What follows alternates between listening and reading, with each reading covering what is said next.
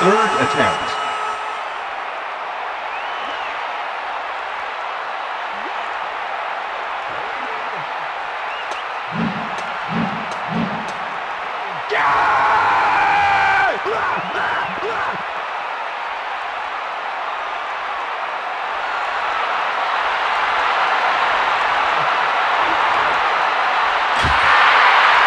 The distance of the third attempt